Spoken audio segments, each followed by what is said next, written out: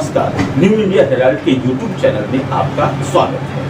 आज की कुछ अहम खबरों पर आइए डालते हैं एक नज़र। कांग्रेस नेता राहुल गांधी ने कहा है कि जातिगत जनगणना देश के लिए एक्सरे जैसा है। उन्होंने कहा, जातिगत जनगणना से पता चलेगा कि किसकी कितनी आबादी है और उससे पता लगेगा कि किसके पास हिंदुस्तान का धन है। एक्सरे के बाद हम सचमुच में गरीब लोगों की भागीदारी दे पाएँगे और हिंदुस्तान की प्रगति में ये बिल्कुल नया चैप्टर लिखा जाएगा। राजस्थान के सीएम अशोक गहलोत ने कहा है कि मैं सीएम पद छोड़ना चाहता हूँ, लेकिन यह पद मुझे नहीं छोड़ रहा और शायद छोड़ेगा भी नहीं। उन्होंने कहा कि कुछ तो कारण होंगे ही कि सोनिया गांधी, राहुल गांधी और प्रियंका गांधी मुझे बार बार सीएम बना रहे हैं।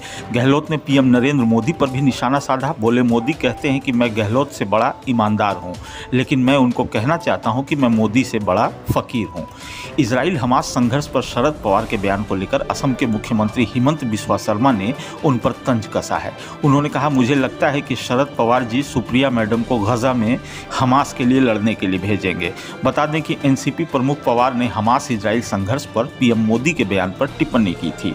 उन्होंने कहा था कि ऐसा लगता है कि विदेश मंत्रालय ने जो बयान दिया है, पीएम मोदी का रुख इससे इतर प्रतीत होता है।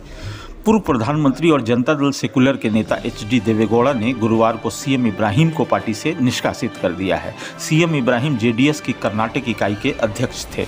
वे देवेगौड़ा सरकार में केंद्रीय मंत्री भी रहे थे। सीएम इब्राहिम ने कर्नाटक के जेडीएस और भारतीय जनता पार्टी के गठबंधन का विरोध किया था। दिल्ली हाईकोर्ट ने कहा है कि prevention of money laundering act, यानी पीएमएलए की धारा 50 के तहत ईडी को किसी व्यक्ति को गिरफ़्तार करने का अधिकार नहीं है। कोर्ट ने कहा कि पीएमएलए की धारा 50 के तहत किसी व्यक्ति को समन जारी करने, डॉक्यूमेंट्स की जाँच करने और बयान दर्ज करने का अधिकार है, जिसका अधिकार किसी भी सिविल कोर्ट को होता है, लेकिन गिरफ्तारी का नहीं। न्यूज़ क्लिक के फाउंडर और editor in chief Prabir Purkayastha और एचआर हेड अमित चक्रवर्ती की याचिका पर सुनवाई करते हुए सुप्रीम कोर्ट ने गुरुवार को दिल्ली पुलिस को नोटिस जारी कर अपना पक्ष रखने के लिए कहा है। प्रवीर पुरकायस्त और अमित चक्रवर्ती ने यूएपीए कानून के तहत अपनी गिरफ्तारी को सुप्रीम कोर्ट में चुनौती दी है। झारखंड के पूर्व मुख्यमंत्री रघुवर दास को ओडिशा का और तेलंगाना के बीजेपी नेता इंद्रसेन रेड्डी नल्लू को त्रिपुरा के लिए राज्यपाल के रूप में नियुक्त किया गया है। राष्ट्रपति भवन की ओर से देर रात जारी किए गए एक बयान में ये जानकारी दी गई। रघुवर दास इस समय बीजेपी के राष्ट्रीय उपाध्यक्ष हैं। उन्होंने झारखंड के पहले गैर आदिवासी मुख्यमंत्री के रूप में साल 2014 से 2019 तक काम किया था। पाकिस्तान की एक अदालत ने पूर्व प्रधानमंत्री नवाज़ शरीफ को प्रोटेक्टिव बेल देने का फैसला सुनाया है। यानी अगले हफ़्ता होने वाली अदालती सुनवाई से पहले उन्हें गिरफ़्तार नहीं किया जा सकता। अदालत का ये फैसला लंदन में आत्मनिर्वासन में रह रहे नवाज़ शरीफ की 21 अक्टूबर को वतन वापसी से पहले आया है। गजा के अस्पताल में हुए विस्फोट पर फलस्तीनी सरकार लगातार इसराइल पर आरोप लगा रही है।